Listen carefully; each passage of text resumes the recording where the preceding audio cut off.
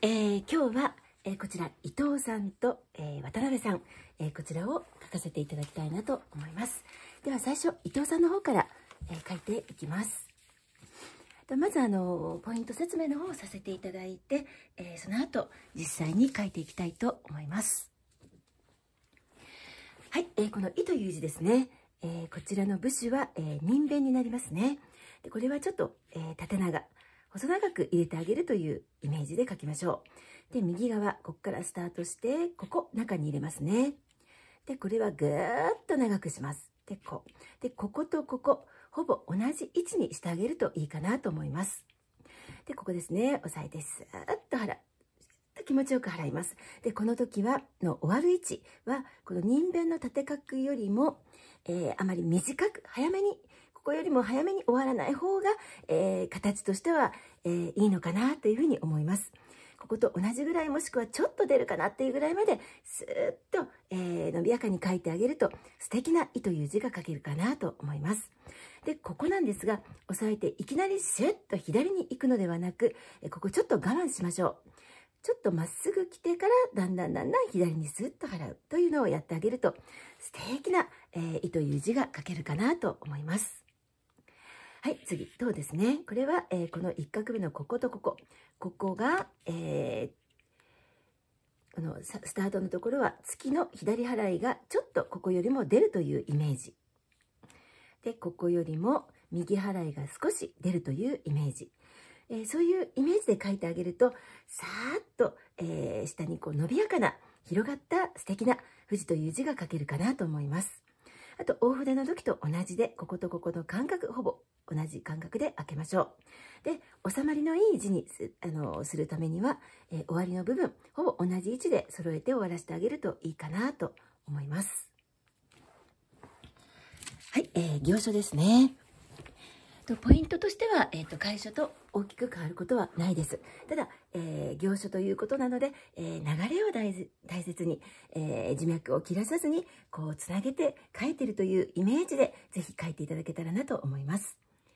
で、こう来て、で、あとあの、少し気持ちですね、右上がりに書いてあげると、ちょっと大人っぽいかっこいい字になるかなと思います。ですね。ここ中に入れます。ここぐっと長く。ここですね。で、これの終わる、えー、払いの終わる位置も、えー、ここよりも、えー、人弁の縦角よりも上で終わらないようにしましょう。え、同じぐらいもしくはちょっと出るかなっていうぐらいまでちょっと頑張って引っ張っててあげるとさーっと伸びやかな「い」という字ができるかなと思います。で、この部分もそうですね。ちょっと最初我慢しましょう。え、まっすぐ来てそれからだんだん徐々に左に払うというのをぜひやってあげてください。あと、等ですね。でここの位置よりも、えー、月の左払いが少し出るかなというイメージ。ここの位置よりも右払いがちょっと出るかなというイメージで、えー、書いてあげましょう。さーっと伸びやかな、伸びやかな気持ちのいい富士という字が書けるかなと思います。で、えー、安定した字にするために、えー、最後のところは揃えて書いてあげるといいかなと思います。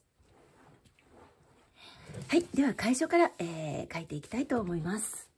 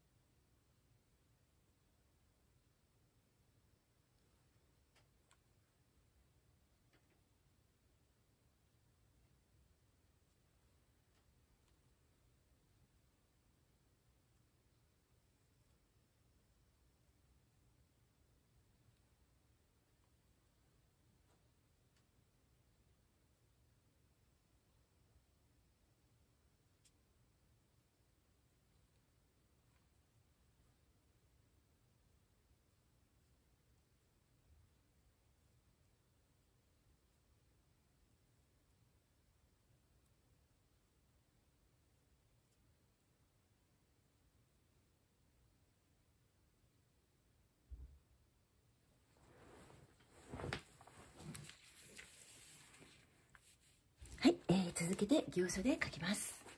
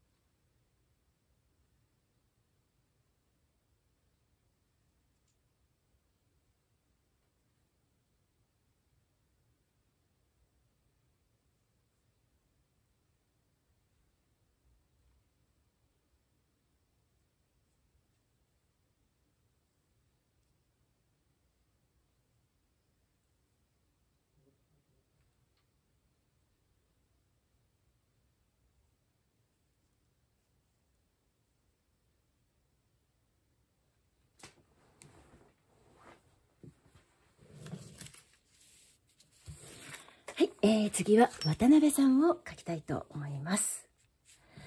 はい、えーと、こちらですね。えー、この字の部首は、えー、三髄ですね。えーと、小筆になっても、あの、大筆の時と、えー、ポイントの方は同じですね。で三髄、えー、入れる位置、ここですね。ここ、ここ、ここ。位置がちょっとずつ違います。とこことここの間隔、こことここの間隔違いますね。下の方がちょっと広くなります。で、ここが来て横。で、ここの左払いも、えー、三髄の終わりよりも、えー、あまり上で終わらないようにした方がいいですね。えー、ここよりちょっと越すかなというぐらい伸びやかに書いてあげるといいかなと思います。で、横が来て、縦、縦、横。で、この縦角2つは、え少し中に入れてあげるように書いてあげましょう。まっすぐ下に書いてしまうと、ちょっとね、あのー、ちょっと子供っぽい字になってしまうので、少し中に入れてあげることで、大人っぽい、かっこいい字になるかなと思います。で、最後こうきますが、でこの時、この線とこの線、えー、ほぼ同じ方向ですね。あの、平行に、えー、書いてあげることで、ここの余白の部分をきれいに見せてあげることができるので、とてもバランスのいい字に見えます。そこを気をつけましょう。あともう細かいんですが、ちょっともう少し気をつけるとするならば、えー、こことこことここの位置なんですが、この横角の、横角の終わる位置は、ここよりもちょっとだけ早め。で、この右払いはここよりもスッと少し出る。っていうの、ほんの少しなんですが、これもちょっと気にしてあげると、より素敵な、えー、渡るという字が、えー、書けるかなというふうに思います。はい、次、辺ですね。これはこう来て、ここ少し中に入れますね。でこれと同じ方向で払ってあげましょう。で、点が来て、えー、こうですね。で、こことここの間隔ちょっと開けます。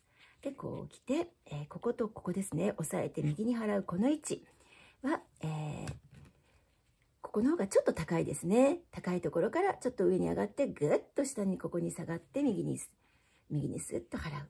大筆の時と同じ書き方ですね。はい、えー、次は行書です。と行書はあのいろいろな崩し方があります。なので一つの参考としていただければいいなと思います。とえー、今回はこういった三髄を書きました。三髄で書きました。こうですね。少し丸みがある。えー、ふっくらとした感じですね。で、字脈を切らさず書きましょう。ですね。すっとここも伸びやかに書きます。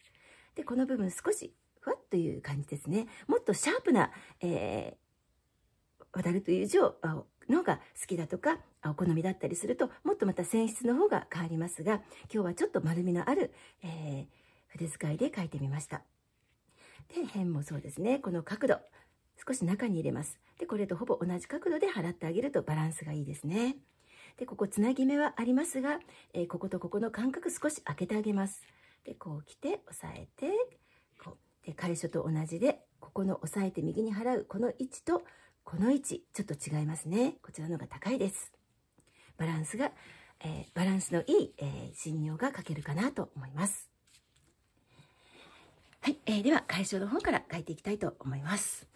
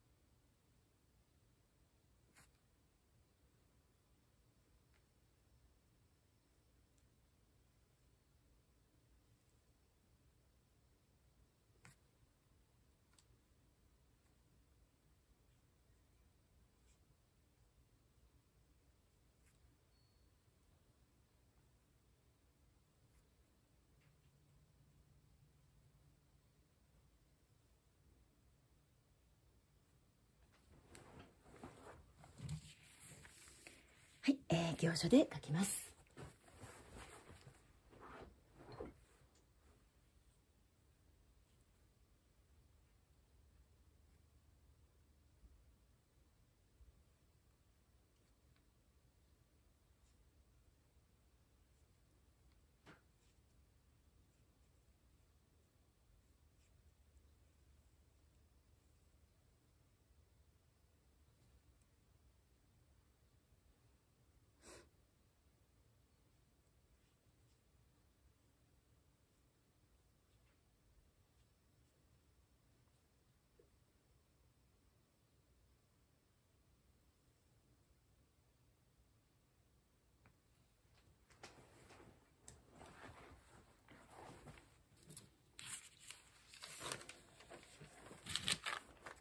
えー、今日は、えー、伊藤さんと、えー、渡辺さん、え書かせていただきました。